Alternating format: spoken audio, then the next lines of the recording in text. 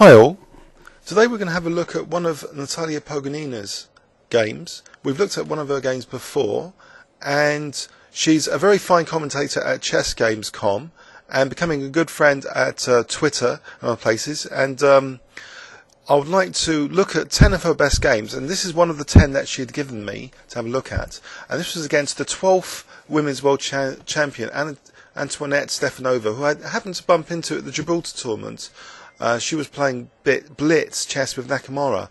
Um, so anyway, she was black in this game against Natalia. So e4, e5, knight f3, knight c6. We have the Ruy Lopez, bishop b5.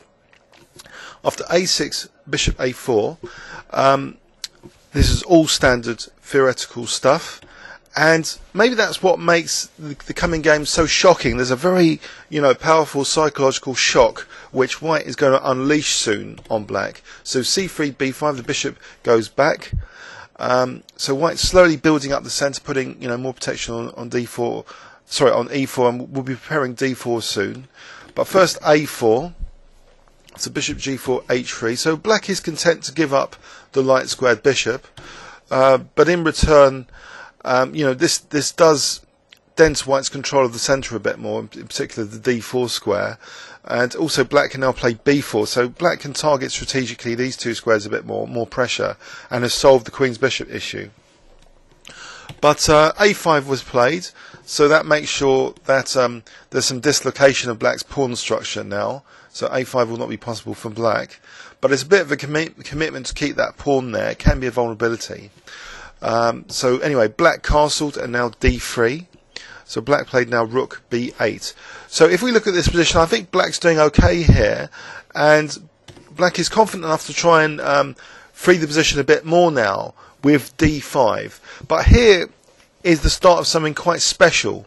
Um, and even though it might not be technically, you know, the most accurate continuation, from a psychological point of view, this was very powerful at the time of the game uh, what happened. So e takes d5, and black played a Zwischenzug move here. Instead of like knight takes d5 or queen d5, took on c3, and I think that's that's a fairly safe um, assumption, and that, that that's possible uh, to do.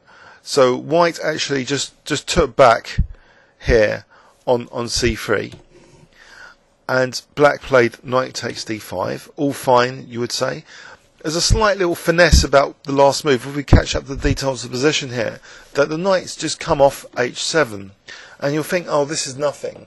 And the more important thing here is attack c3 because you know, black's got this blasting rook on the b file, so it makes bishop b2 difficult. So how is white now defending the c3 pawn? Um, if knight e4, the knight's only going to be temporarily there maybe because the bishop could move back and then later could play f5 and e4 and get maybe a crushing attack going on f2. You know, if you've got this horrible menacing bishop, you know, on, on a7, still eyeing f2 and f5 and e4 is coming with tempo, then white really doesn't want to play a move like knight e4. Uh, so there's still this problem, you know, what to do about c3. A radical solution now is found um, which I, I say might, you know, as I say, with computer analysis, of course, it might, be, might not be the most scientific continuation, but from the psychological point of view, this was just brilliant. Uh, what White played here uh, was the move d4. And let's have a you know look at this, immerse ourselves in this position. So White's just giving up the d4 pawn. Why can't Black just take? You wonder. Well, I mentioned h7 and it's being used here to gain an important tempo for exposing another slight tactical vulnerability in black's position that these two pieces are en prise at the moment. Uh, so we see now this coming to light a bit more. After e takes d4, white plays queen d3, hitting h7. Um, and you'll remember in one of my over the board games, there was this key winning idea with Queen D3 hitting H7. It's, so it's, it's often you know a powerful tactic in its own right. Even if you know H7 can be defended, you're sometimes gaining a valuable tempo.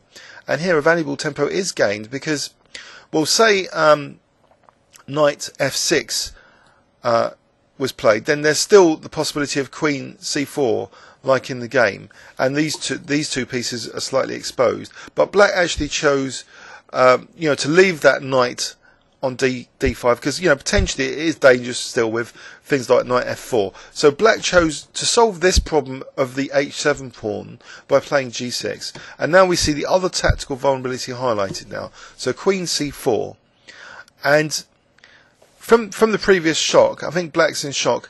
Um, there is you know a, a very uh, you know precise continuation that black could have played here. Um, and so the computers don't technically like this position.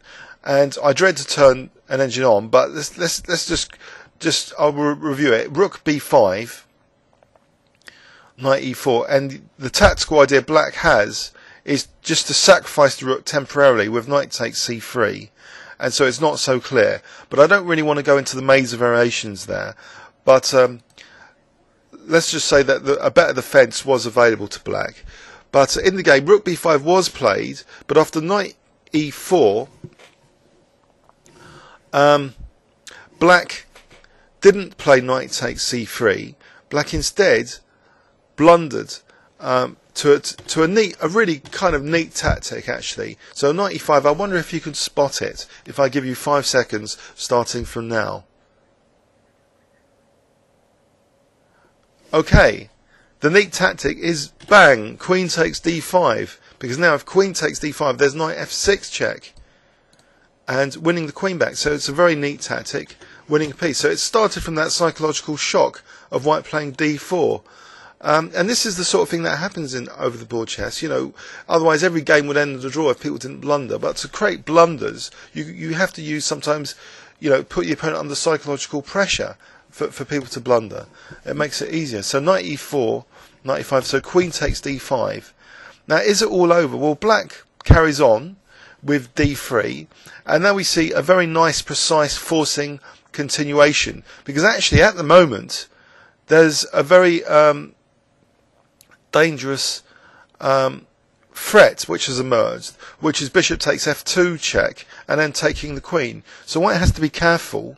Um, White took the queen off now, so not relying anymore on this because of bishop f2. So rook takes d8, but still look at this dangerous, seemingly dangerous d pawn. So white, you know, still has to play accurately here. Otherwise, there still could be trouble. So bishop a4, gaining another tempo, nice bishop move. Uh, so d2 is still a major threat, but at the moment, um, it's it's it's covered by the knight and bishop at the moment, so that's fine. Rook takes a5, and now we see bishop g5 gaining another useful tempo, hitting that rook on d8. Rook b8, and now another great move, bishop f6, another tempo, third tempo in a row, attacking the knight on e5. So black defends that knight on e5 by playing bishop f8, but now another forced and very clear continuation has emerged with bishop takes e5 because now, well, black resigned here, but there will be rook takes e5, check, king moves somewhere, and now knight d7, forking both rooks. So it was a very concise tactical game from white after that initial, you know, tactical blow was landed. So this this d4, this idea, I think it must have really unsettled um, Antoinette at the time to, to have, um, you know, seemingly, you know, casually playing d5 deliberate, you know, the pieces in the centre and ex- try and exploit, you know, this c3 uh, pawn, which is difficult to defend because black has that rook. But now this this psychological blow d4, so using h7 to gain a valuable tempo, and then for this queen c4 move. So here, black's calculation started to go downhill after knight e4 by not playing you know, the very cunning knight takes c3, just just offering um, the bishop temporarily to try and regain it later. So black blundered horrendously now. So with knight e5, due to you know the, the pressure just put on the opponent from from the unexpected really. Uh, so queen takes d5 with a lovely knight fork possibility. And then we saw a very nice forcing continuation to make sure that White's advantage was, you know, clinically driven home. So this could have been the continuation, but um, uh, so after Bishop um, F8, Bishop takes E5, Black had resigned. Uh, please leave any comments or questions on YouTube, and also if if you if you'd like to follow um, Natalia, Pogonina. She's actually on Twitter, so you can follow her on Twitter, uh, twitter.com slash Pogonina. Uh, thanks very much.